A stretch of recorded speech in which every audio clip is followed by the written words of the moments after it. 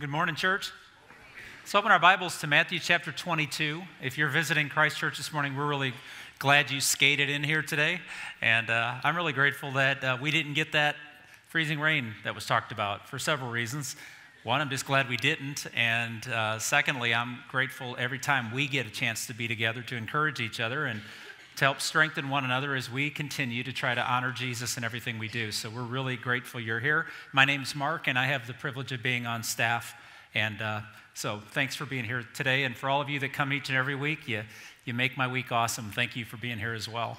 Uh, we are in this series through the Gospels, and we are in the final week of Jesus' earthly ministry. Now, uh, you know, every time I say that, I give myself a caveat. There's also things that he does post resurrection uh, here on earth, but this one week uh, changes everything. It's the greatest blessing to ever happen to mankind, is what takes place this week. And we're in the midst of it, and we'll be spending a little bit of time on it. We are in Wednesday, Tuesday and Wednesday period of this week. But what's happened on Monday is Jesus went into the temple. This was the, the location, the social location, and political and spiritual location of Jerusalem. Jesus goes in on Monday and he cleanses everything in there that is keeping people from having access to God. It would be represent, uh, representation of what his ministry would do is to get rid of all the obstacles that keeps an individual from having access to God. He cleanses the temple and he's asked the question by the religious leaders of his day, by what authority do you do what you do? Why did you do that and who do you think you are? Jesus is about to enter into a lengthy period of time where he's answering the question, let me tell you who I am. The answer to these questions will get him killed. It's that serious of a conversation. and It's going to take place over many, many passages of Scripture, and we want to spend our time learning from them and growing in them. So last week, he began by telling two stories. The first story was about two sons that were asked to help their father with some work. One said he would not and did, the other said he would and didn't. And Jesus laid before us here that our actions matter, that the work of the kingdom God is inviting us into, and we get to choose whether or not we will actually do it. It's not as important what we say we'll do as what we actually choose to do. Then he tells another parable, another story. He talks about a vineyard owner who goes away for a season. He leases his land to a bunch of workers, and then he says, I want my share of it.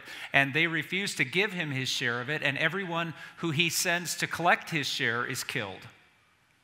And Jesus uses that story to say that there will be an accountability for every one of us with what we do with what's God's. These are judgment parables. They're not always comfortable, but they're always accurate. And so Jesus has created these two stories. He tells these two stories, and he enters into a third one, which is where we're at today. And this is the parable of the wedding feast. Let's begin in verse 1.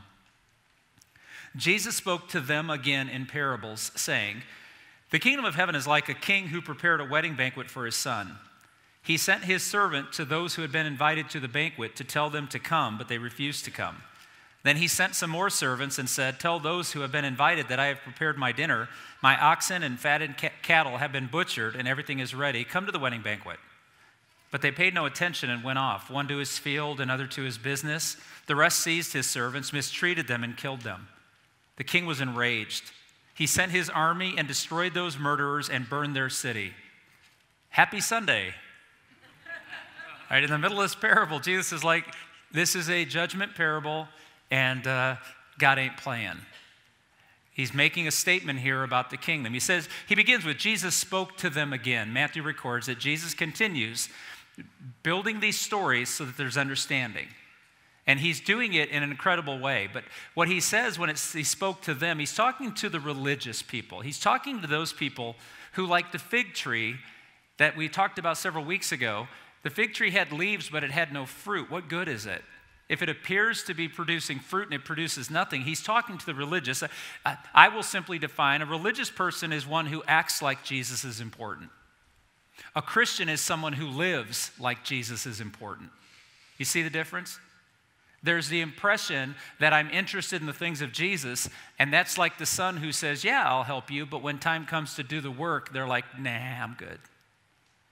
There's a difference between the religious and Christians, the followers, the disciples, and Jesus was speaking to them because they're asking him the question by what authority are you doing these things you can almost hear implicit in their questioning of him is this is our temple how dare you touch our stuff you see The religious people, especially the religious leaders, felt like they had earned their place. They had the credentials. They had the rabbinic training. They had everything. Jesus had none of those things. He didn't go to the rabbi school. He wasn't, he wasn't taught or mentored under one of the chief rabbis that trained. He didn't have any of their credentialing. So when they're asking him this question, it's a legitimate question, but they won't listen to his answers. They won't respond to what he's saying. And Jesus said, eh, This reminds me of a story. And he tells the story. Loving a good metaphor, I love when Jesus does this because he brings the theory into the real world and shows what it looks like. You see, the question that they're really asking is Is being a part of this kingdom based on merit or based on mercy? Is, is being invited into what God is doing, the Father asking the sons to join him in the work, is that because they've earned the right or because he is giving them a blessing to participate in the work? Well, clearly, Jesus is teaching us that we are invited by the mercy of the Father, not by our own merit. So, how does this mercy come to us? Let's use the story and we'll draw three simple truths about mercy. Mercy requires a faithful response. We'll begin there. It requires a response to it. You see, people who don't believe they need mercy will never receive it. If, if someone feels like they're being uh, placated or, or someone's doing a nice thing for them and they don't need the help, many of us have a problem receiving someone honoring us or blessing us. We're like, no, no, no, no, no. But in this case, those who know they need mercy know how to receive it. They realize without it, they can accomplish nothing.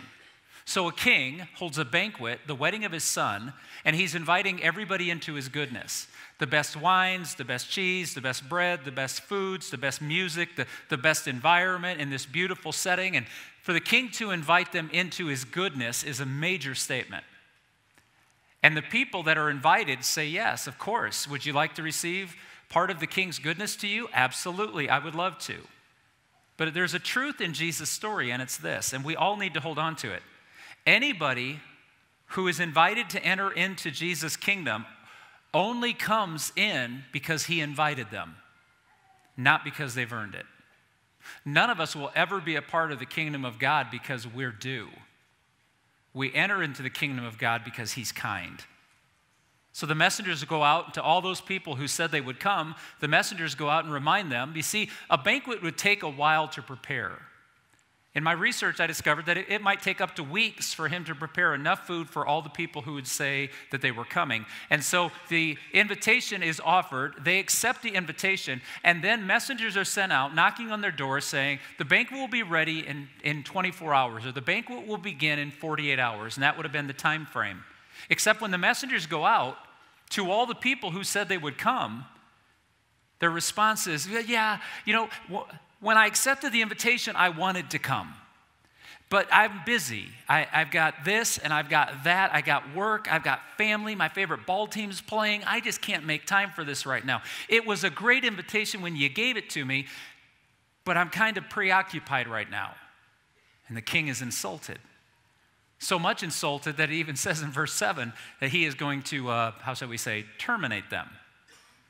Because they dishonored the mercy and the goodness that he was offering them. They had decided that their stuff, their businesses, and their fields were too important. It's simply simple to say they became indifferent.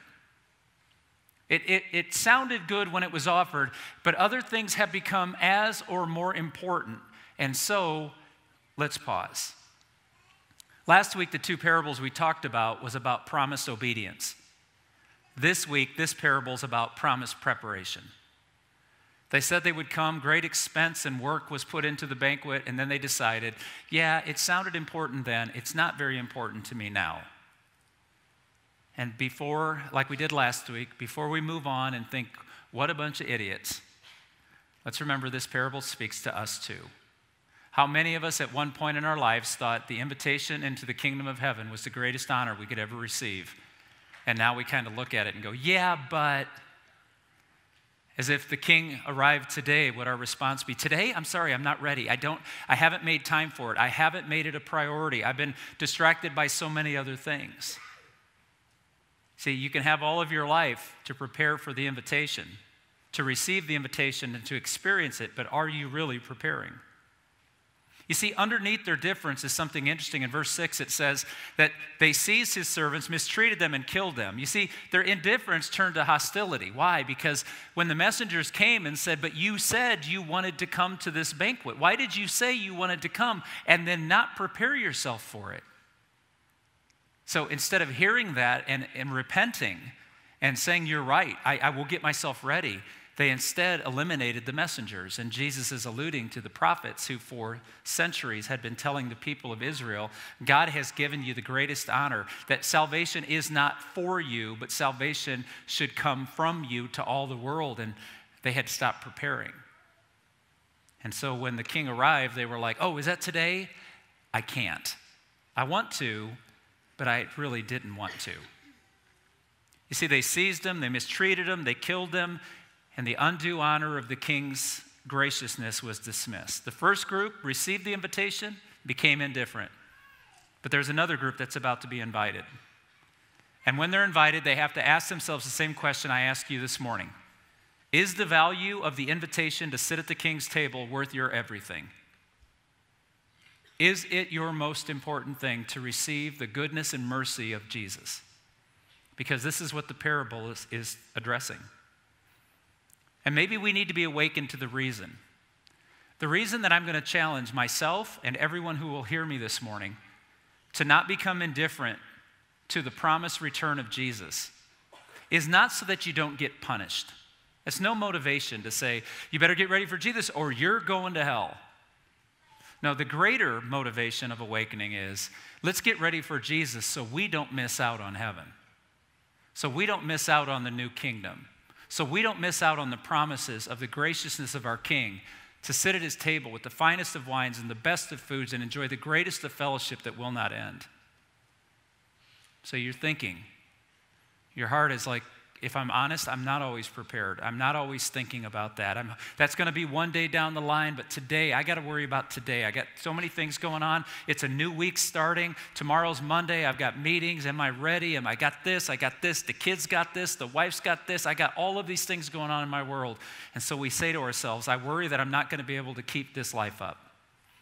Or I think to myself, I've been struggling with the things and and I'm losing interest and I, I don't know how to stop it. And some of us are saying, I'm, I'm, I'm failing. I'm, I'm trying to be good and I'm not good at being good. Let me encourage you. If we forget that the mercy of Jesus is what invited us to the table, we can foolishly believe that our behavior maintains it. I want to say that again.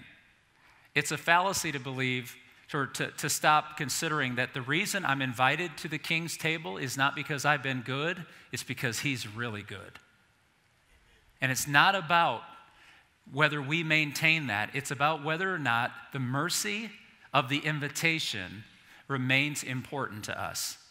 Because we weren't invited because we were good, we were invited because he's good.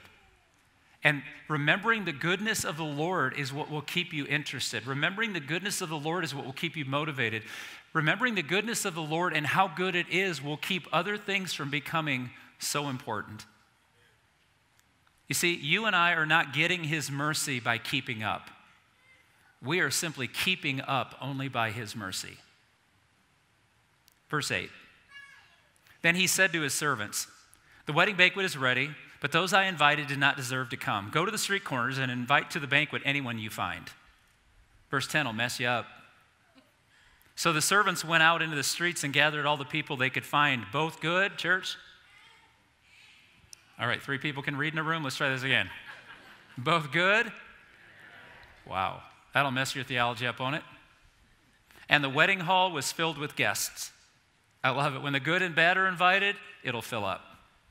When the good are invited, not so much. But when the king came to see the guests, he noticed a man there who was not wearing clothes. Friend, he asked, wedding clothes. I'm sorry, that was a That was more than awkward. Yeah, you might notice that guy. Okay. Let's start over verse 11. When the king came in to see the guests, he noticed a man there who was not wearing wedding clothes. Friend, he asked, how did you get in here without wedding clothes? The man was speechless. Then the king told the attendants, Tie him hand and foot and throw him outside into the darkness where there will be weeping and gnashing of teeth. For many are invited, but few are chosen. Any questions? It's awkward, isn't it? You have a couple of moments here where the king, uh, the king is not playing. For those that reject his mercy, they will face his wrath. And for those who reject the opportunity and treat it as insignificant, there's an accountability to it. You see, the second thing I want you to know is that mercy provides what we need. It, it not only desires and deserves a response, but it gives us what we want. Let me explain. So he says to his servants when they come back and they say, Many of the guests that you invited haven't prepared. They're not interested in coming anymore. He said, Fine, I'll take care of them. But I want you to go out and I want you to go. And it uses an interesting term here. In the actual language, if you interpret it, it would say, Go to the way that the ways cross. We would simply say, go to the public intersections and invite anybody who wants to receive the king's goodness. Invite those people to come receive it. And both good and bad people take advantage of it. You see, it's not, we're not invited to the banquet because we're good. We're invited to the banquet because he's really good. And people show up, good and bad. The reason they were invited because they were willing. And I want you to know that Jesus calls all who are willing to follow him to follow him. That's all it takes. Are you willing to receive the mercy of Jesus? And the good and bad come in. But he walks over and he notices that there's a man who's in the wedding hall who's not dressed in a wedding garment. Now, why is this important? I've always struggled with this. It's a text, my entire Christianity, I've read through it. I've not put enough study into it. And I always thought, man, this is just hard to hear. Everyone's invited in, and then one guy gets thrown out, and I don't even know what the rules are. Then I began to do some study, and I, I taught some important things. You see, this isn't about formalism, it's not about social convention. Simply put, this man thought he could come as he was. Let me explain. You see, when they asked him, Why don't you have a wedding garment? He had two possible and very good reasons why he didn't have a wedding garment. He could have said, Well, it took so long for the banquet to be prepared that when they told us, If you want to come to the banquet, come now. I didn't have time to run home and get my wedding garment. Or he could have said, I don't have a wedding garment. But in the parable, he doesn't respond he remained speechless, which meant he just came as he was, thinking, this is good enough. And the truth of the matter is, everybody else who came immediately was dressed appropriately. What does that mean? Most scholars believe that in that culture, if you arrived at the banquet, you were given a garment by the host that the king would have given everybody a wedding garment. And when this man did not put it on, he basically said, Accept me as I am, and the king could not and would not. There's a valuable lesson here. Here's the point. There's a bunch of people who think that they're going to stand before God and go, I, I earned this. I did right things. I did more good than bad. You need to let me in. And the answer is going to be no, it's never been about you. You needed mercy, not justice. Because to stand before God and say, I've earned it, is to ask for justice, and justice is not your friend when you're a sinner. The second approach is to go to Jesus saying, Take me as I am, and yet this guy is punished. See, listen to what Jesus is teaching us.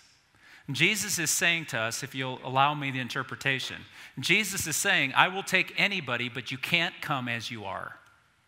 I will take every single one of you, but you must let me dress you with the garment, the wedding garment. You must let me put my righteousness on you and take off your filthy rags. To stand before God in our filthy rags, demanding of Him that He take us as He is, we have not understood what Jesus came to do. You see, the Bible says there will not be one unjust deed that will not be paid. In other words, justice demands that our sin be accounted for and each and every single one of us give an accounting for what we've done. I love how Tim Keller points it. He says, now, if it's going to be paid, there's two ways it gets paid. Either you pay it or you let Jesus pay it. You get to choose. And this parable is highlighting that. Are we allowing the righteousness of Jesus to clothe us or are we standing before God saying, I think I've got it, I've done enough? Or just take me as I am? You see, God does not love people unconditionally, He loves them counter conditionally. If God loved us unconditionally, no matter what we did, we're all going to be okay. It's not what the scriptures say. It says that God loves us counter-conditionally. It doesn't actually use those terms, but here's what that means. Counter-conditionally, instead of God saying, You fix it and then come to me and I will love you, He actually says, I will fix it. Will you love me? See how that works? Counter condition is not you fix it so I love you, it's I'll fix it. Do you love me? And this is what he's offering us in Jesus. Charles Spurgeon in the 1860s had a wonderful phrase. He preached in London. He was one of the first, one of the largest churches ever known to that period of time. Thousands of people would come all week long to hear Spurgeon preach. And one of the things he said that I got was he said, Beggars cheer for every dish offered to them. And this is what we're talking about today. Is the invitation as a beggar to sit at the king's table enough motivation for you to love God in return? It'll take a faithful response and He will give you what you need to enter the banquet. So mercy should become a daily celebration. What I want you to see here is that the person who gets thrown out, it's not the bad person. The person who gets thrown out of the banquet is not the person who owns no garment of their own. The only people that aren't allowed to enter into the banquet are those who feel like they, they are fine as they are. They don't need mercy. And this is what Jesus is saying to the religious people, to people that can often get caught up with, well, I go to the ceremonies, I go to the temple, I make the annual sacrifice, I do this. Isaiah chapter 61, verse 10 says, I will rejoice greatly in the Lord. My soul will exult in my God, for he has clothed me with garments of salvation. He has wrapped me with the robe of righteousness. If Jesus doesn't give us his righteousness as an act of mercy, you and I will not enter the banquet. The question is often raised how dare Christians think that they have the only way? I'm telling you that Jesus warned us not to make him superior to everyone else, but to show us there is no hope in anyone else. Without his blood cleansing us, we stand before him in filthy rags. The ones who are garmented in his righteousness given to them by the king will be welcomed into his graciousness, and by his mercy they will eat forever and ever and work in his vineyards and do beautiful things. And those who stand in their own filthy rags, arguing with him about his methodology, are going to be sent out to a place of great pain and torment. 2 Corinthians chapter 5, Paul wrote to a church that was full of good and bad people. And he wrote these words Jesus Christ was made sin for us that we might be made the righteousness of God through him. He was made sin for us that we then might be made the right, that he might put his righteousness on us as we enter in to the great wedding. You see, because Jesus doesn't tell us this, but Paul will. Jesus is the bride or we're the bride and he's the groom. We, the church, are his bride and he is preparing us. And he's going to take us in our filth and he's going to clothe us in his righteousness and he's going to take our filth upon himself and he's going to marry us and it's going to be the great celebration. It's going to be called heaven, not a place in the skies amongst the clouds, but a new heaven and a new earth. There are some of us here trying to figure this Christianity out. I get it. And you're welcome here. We want you here among spiritual friends that can help you see what the scriptures teach and respond to it. And some of us are trying to figure the church out. And, and let me tell you about the church it will disappoint you more than it will entertain you. It will disappoint you more than it will ever be everything you want it to be. But there is something beautiful in our brokenness that allows us to know the mercy of Jesus. It's where his mercy excels. So you're starting to assess Christianity and what you believe. Listen to the words of Jesus and trust the mercy he's offering you. Don't stand before him saying, I've done more good than bad, because that's not what you want is justice. What we all need is mercy. Around here, we talk about how do you engage your head, your heart, and your hands. I'd really like to walk through this this morning. Here's what I want you to think about this week. In a world that's made the things of Christ become indifferent, I want you to think about this. Remember your first love, not, not your first boyfriend or girlfriend or your first crush. Remember the first person who ever loved you. When you read in the scriptures, you'll find out it was God. He's loved you from the moment you were conceived. And ponder the offer he's made to you. Spend some time, sometime this week, maybe even today. Put the fire in the fireplace and sit by the window, and on a cold, cold day, remember how warm it is to be loved by God. Rejoice in the mercy of the invitation. Don't let anybody trade you anything of lesser value than that. To your hearts, what do we need to become? Celebrate the promise that are true. Worship Him with gladness. Be grateful. Worship with your community and spiritual friends regularly. Coming to church doesn't save you, but trust me, being with spiritual friends in community will remind you regularly that the mercy of Jesus is the greatest offer you'll ever receive. Bow to nothing else but Him and experience the peace and joy that knowing that Jesus' goodness is why you were invited and why He loves you is enough. And then for your hands, what are you to do? With this truth? Well, for many in this room that are investigating Christianity and trying to figure it out, and even for many of us who at one point in time were very interested in the invitation, we accepted it, we made it our own, and now we find ourselves distracted and discouraged and pursuing other things, hoping today isn't the day He comes back because I'm not ready. Prepare your hearts. Say yes to the invitation. He's inviting you to become a part of His work. Not to work you to death, but to work you into life. Allow Jesus to dress you in His garment. How do you do that? Confess your sinfulness. Make a pledge before the Father to, to trust His words rather than your own feelings and your own choices. Give a declaration of faithful trust like that beautiful child just did a few moments ago, where Zoe asked him the question You want to follow Jesus with the rest of your life? And before she could spit it out, he'd answered. That's a confession of the Lordship of Jesus. And then wash away your sins in baptism. Being obedient and submissive to a beautiful act that symbolizes our inclusion in the life of Jesus. And pray for the clarity of heart and mind to receive nothing as more important than the opportunity to be involved in the greatest act of mercy ever offered the cross and the power of the resurrection. You see, there's something to think about, there's something to experience, and there's a response that we do with our hands and feet. Around the room, there are four tables this morning. These tables are going to be filled with staff or elders of our congregation that would love to meet with you. For some of you today, you need to respond to the mercy that Jesus is offering you. There is an invitation offered to you today to become a part of God's kingdom, not because you're good enough, but because He is good enough confess his confess your sin confess who you believe him to be repent of your sin and be washed clean.